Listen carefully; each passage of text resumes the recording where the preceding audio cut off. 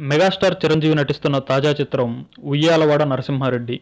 ఈ సినిమా నిజానికి ఆగస్టు పదిహేనున ప్రారంభం కావాల్సి ఉంది. కానీ ఈ సినిమాలో హీరోయిన్ ఎవరనే విషయం ఇంకా ఒక్కొలిక్కి రాలేదు.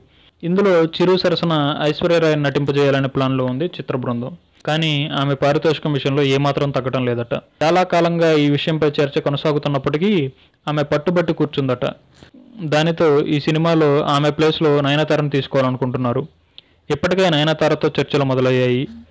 ఈ చిత్రంలో దాదాపు నయనతారను కన్ఫర్మ్ చేసినట్లు తెలుస్తుంది. ఇక ఈ చిత్రంలో మరో పాత్రలో విజయశాంతి నటిస్తున్న సంగతి అందరికీ తెలిసిందే.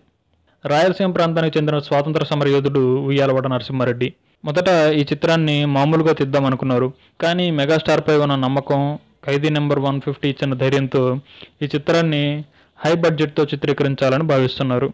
ఇప్పటికే బడ్జెట్ను బాగా పెంచేశారు. టెక్నీషియన్లను కూడా హాలీవుడ్ బాలీవుడ్ నుంచి దిగుమతి చేసుకుంటున్నారు. ఈ సినిమా విషయంలో అసలు వెనక్కి తగ్గట్లేదు నిర్మాత రామ్ చరణ్. ఈ సినిమాకి సురేందర్ రెడ్డి దర్శకత్వం వహించబోతున్న సంగతి తెలిసిందే.